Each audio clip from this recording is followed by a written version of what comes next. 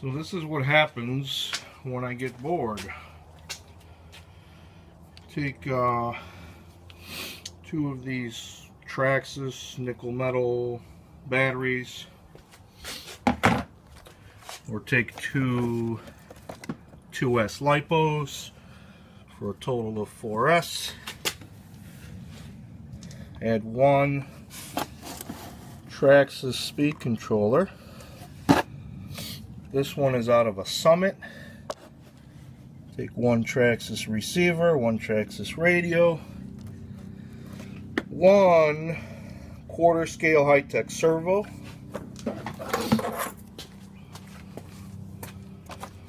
hardest part of this project was doing the steering.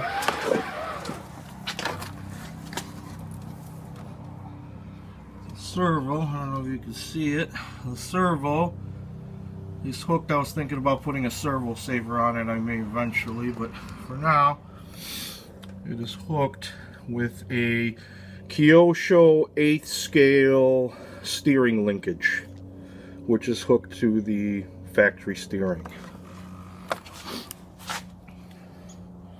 Oh, and it's running, well, peak voltage would be 16.8 volts instead of 12. So it's not fast by any means, but it is certainly faster than the stock big battery that comes in these things and not having a, a child in it makes it even faster due to the lack of weight. Motors themselves are the stock motors that came on this thing.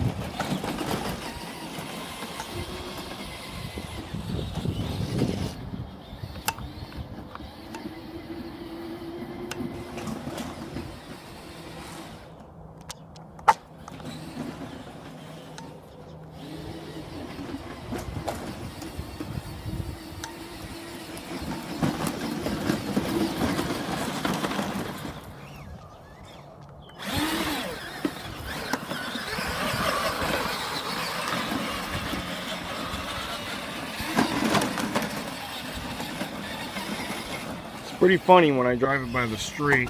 Most people drive past down the street and don't even notice it, but every once in a while you get people that just completely slow down and they're amazed that there's a Power Wheels going down the street without a kid in it.